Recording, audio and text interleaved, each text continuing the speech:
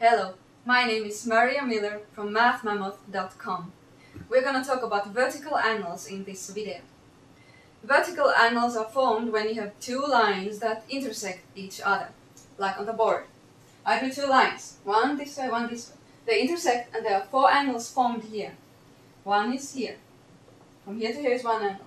Here to here is another angle. And here to here is another angle, and then fourth one here. Now, students can probably see very easily that this angle and this angle are equal.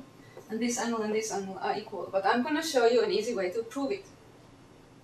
First of all, let's call this angle x. It's x degrees.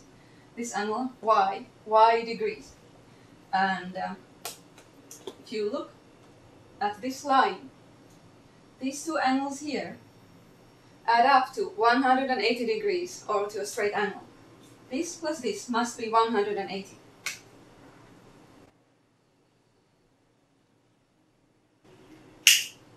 Okay. Now, I'll put my ruler here and we'll look at this angle and this angle.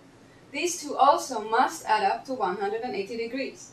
So if this is y, then this must be x, x degrees, because x and y add up to 180 degrees and there's no other number that would do.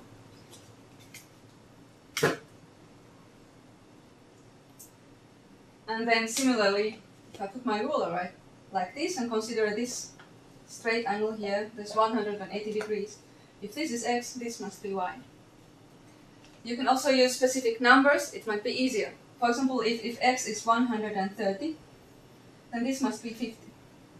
Okay? And then after that, if you're looking here, if this is 50 degrees, then this must be 130, so that they add up to 180. And then from here to here, for example, 130, and then this must be 50. So what we get from this is that vertical angles are equal. This and this angle are equal, and this and this angle are equal.